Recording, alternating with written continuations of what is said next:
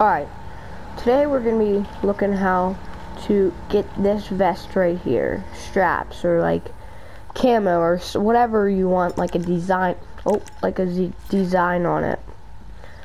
Here, let me do something real quick. Style, parachute, on. Okay. So we're going to be looking how to do the strap vest. So, you go over here to um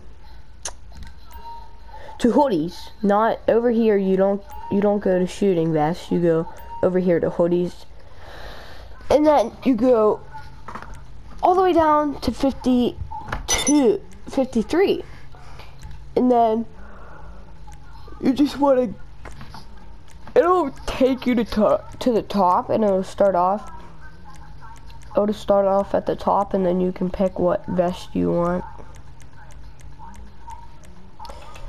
And just a quick video of how to get the stress vest. You guys all have a nice day and I will see you later.